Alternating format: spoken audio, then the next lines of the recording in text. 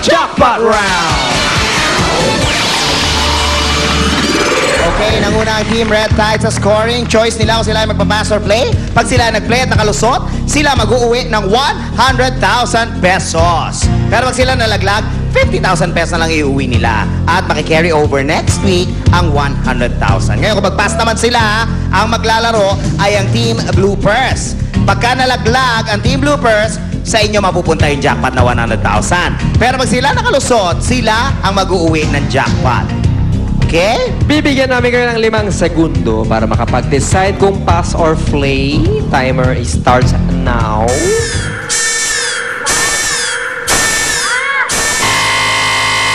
Team Captain Rocco, anong decision nyo? Mag-decide po kami. Hoy! Pass. Ang lalaruin nila wall ngayon ay tinatawag na Dizzy Wall. Dito sa Dizzy Wall, isang player lang ang maglalaro. Pupunta dun sa yellow area, hawak ng baseball bat, didikit sa sahig at sa noo at iikot ng 10 beses within 20 seconds. Meron namang mag assist yung ating lifeguard na si Suzuki. I-assist kayo para sigurado hindi kayo natutumba, hindi kayo lumalagpas ng 20 seconds. Tapos, pagka sinabi namin laglagan na pupunta sa play area, hindi kailangan lumagpas, dapat hindi rin mawasak ang wall, dapat hindi rin mahulog, kailangan makalusot. Okay, sino maglalaro? Team Captain Jana? Parang si Miko. Miko, Miko, Miko. Miko, Miko, Miko, Miko. Miko, Miko, Miko. Miko, good luck sa'yo. Eto na for 100,000 pesos. Play Play na! Yan. Meron kang 20 seconds para umikot ng 10. I-assist ka lang niya para hindi ka mahulog o hindi matumba ang baseball bat. Okay? Good luck sa inyo, Team Bloopers, ti ano, studio audience, kasama kayo magbibilang. Ready? And go! Ulo, ulo. Tikit, tikit, tikit. Three. Four. Dikit ang ulo.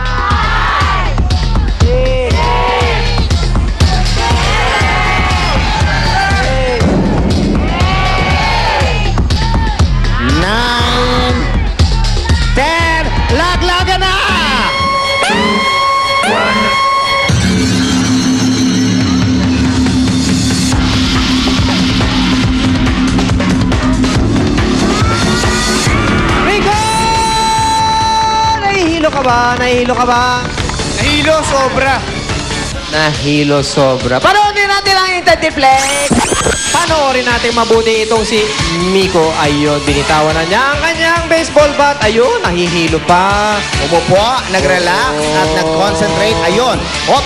Nag nagdesisyon na magpaparang si Master Palaka na lang siya. Doon na nagka-leche-leche. Ayun. Ito ang tamang formation. Tama ba yung ginawa niya parang Mr. Palaka? Hindi. Mr. Indian Squat sana. Mr. Indian. Okay, mamaya malalaman natin kung ano ang sabi ng ating mga judges. Samantala, ito muna ang ating laglag awardee for tonight. Walang iba kundi si... Maraming kandidato, ang dami na laglag. Eh, pero sino kaya pinakamatinding na laglag? Uy! Kulay pula. Mukhang si Janelle ito o di kaya si Jordan. Janelle Jordan, Janelle Jordan. Oy, mas maganda ang split ni Janelle. Parang si si Janelle ang Janelle. nanalo ng isang item mula sa Minami Home Appliance. Congratulations! Ikaw ang aming laglag awardee. Ayan na, nako, Gandarela, kanina nanalo ang Team Red Tide ng 50,000 pesos dahil sila nag-qualify sa jackpot round. Ipinasa nila sa Team Blue Bloopers at na sila naglaro ng Dizzy Wall. Ang Oo. sabi ng ating mga inampalan, You're such a loser! Loser! Congratulations, Red Tide! Kayo ang nanalo ng jackpot na 100,000 pesos. For a total of 150,000 pesos! Congratulations! Oy, napakagaling. At, Oh. ay, nako, Prinsipe, ano bang Bakit? ginagawa niyang mansanas na yan? Nandiyan dyan na naman. Parang, nako, nakakagutom. Kasi tignan mo, oh, parang ang juicy. Parang, parang hindi ko na mapigil ang sarili ka! Gandarela! Malco! Gandarela, Malco, bakit mo kinain yung... Bakit kinain yung mansanas? Ikaw talaga napakatakaw mo, lahat ng laki na kain mo. Pambira. Paano ngayon yan? Nasa sumpa ka na naman. Ako, hindi na natapos itong sumpa-sumpa na to. Ano ngayon ang gagawin ko? Halikan mo siya. Halikan mo siya. Uy, sino ka? si Dr. Love. Dr. Love. Halikan mo siya. Halikan mo siya para mawala ang para mawala ang sumpa. Halik lamang. Halik lang ang makakapagtanggal ng sumpa. Ngayon, sa kiss kong ito, mawawala ang sumpa sa'yo.